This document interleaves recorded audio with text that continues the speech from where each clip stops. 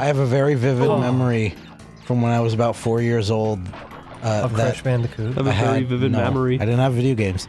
Uh, Uh oh. of, Oh, I had a toy of the Riddler of Jim Carrey as the Riddler, and I was I was a little tiny child and I was trying to pee in the toilet, but I dropped the I dropped the toy in You as have I was flushing it, and Yeah. so Yeah, I. I remember having uh, I remember panicking to try to grab it before Oh. it went down the drain, and I couldn't do it. No, that's so sad.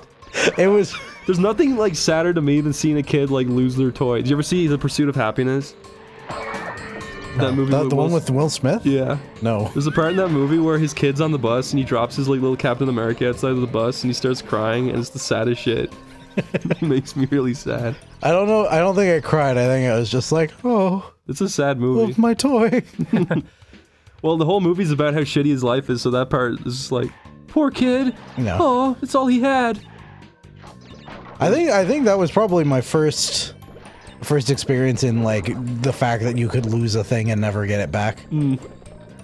Down a toilet too, it sucks. 'Cause when you're I mean, kid, that's what like- I get. That's what I get for fucking holding it while I was trying to pee. When you're a kid and you, you still think Toy Story is potentially a real thing, you lose your He went to have sewer adventures.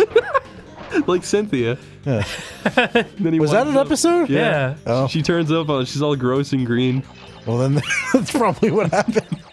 He was already green, This is true. so he, maybe you washed all the green off He, of he him. was telling riddles to sewer rats. Now he's brown. the brown Riddler telling tricks to sewer rats.